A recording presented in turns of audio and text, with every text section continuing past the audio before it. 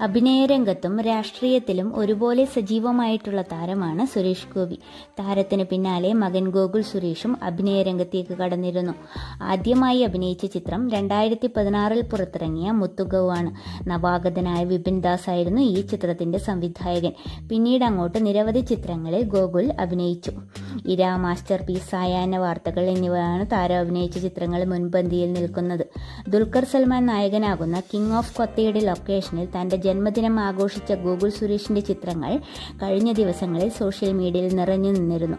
ദുൽഖർ സൽമാൻ ചേർത്ത് പിടിച്ച് പിറന്നാൾ ആഘോഷിച്ച ചിത്രങ്ങൾ ഗോകുലിന്റെ സഹോദരൻ മാധവനാണ് സോഷ്യൽ മീഡിയയിൽ പോസ്റ്റ് ചെയ്തത്. ചിത്രത്തിൽ മാധവനെയും കാണാൻ സാധിക്കുന്നുണ്ട്. ദുൽഖർ സൽമാനും ഗോകുൽ സുരേഷും ആദ്യമായി ഒന്നിക്കുന്ന നവാഗതനായ അഭിലാഷ് ജോഷി സംവിധാനം ചെയ്യുന്ന ചിത്രത്തിൽ പ്രധാന വേഷത്തിലാണ് ഗോകുൽ പ്രത്യക്ഷപ്പെടുന്നത്.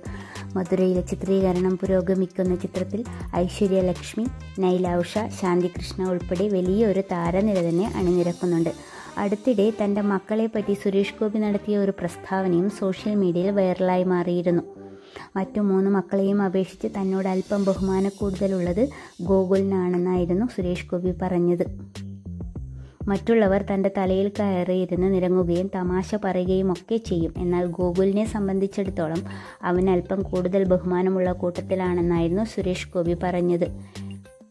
ഇപ്പോൾ തന്റെ ഏറ്റവും പുതിയ ചിത്രത്തിന്റെ ചിത്രീകരണത്തിന് മുൻപ് സുരേഷ് ഗോപിയുടെ കാലിൽ തൊട്ട് അനുഗ്രഹം വാങ്ങുന്ന ഗോകുലിന്റെ വീഡിയോ ആണ് സോഷ്യൽ മീഡിയയിൽ വൈറലായി മാറുന്നത്.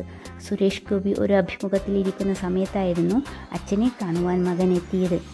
മകനെ കണ്ടപ്പോൾ തന്നെ ഇന്റർവ്യൂവിൽ നിന്നും ഇറങ്ങിച്ചെന്ന് അവന് അനുഗ്രഹം നൽകുകയും കെട്ടിപ്പിടിച്ച് ഉമ്മ കൊടുക്കുകയും ചെയ്യുന്ന സുരേഷ് ഗോപിയെയും വീഡിയോയിൽ കാണാം. ഇതിനൊക്കെ സാക്ഷിയായി മാധവും തൊട്ടടുത്തു തന്നെ ഉണ്ടായിരുന്നു.